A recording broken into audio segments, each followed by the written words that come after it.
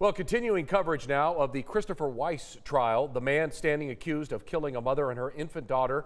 Family members of Valerie Martinez took to the stand today describing the relationship between her and Weiss, including the days leading up to her murder. Well, Valerie's cousin described speaking with investigators the day after Valerie and Azariah's bodies were found. 6 News reporter Mike Rogers is live now at the McLennan County Courthouse with the latest. Mike?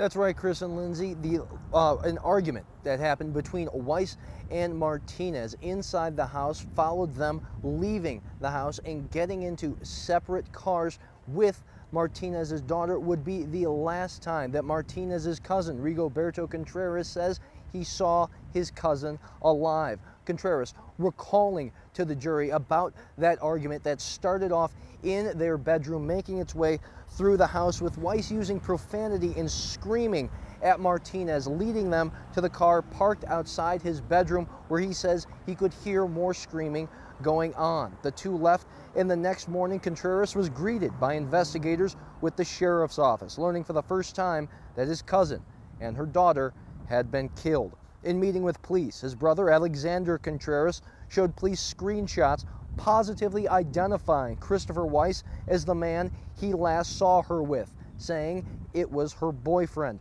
Another state's witness, John Cotton, also taking to the stand, says he was out at the lake and recalls seeing uh, he recalls that he saw Martinez's car and another vehicle out at the lake that night from his vantage point. There were a couple of questions that prosecutors had questions for about what he could clearly see. But guys, this trial will continue tomorrow morning. Yeah, prosecution. Mike Rogers. Yeah, thanks, News. Mike. Prosecution continues. We'll see what the defense has to say soon. Yeah, Mike, thank you.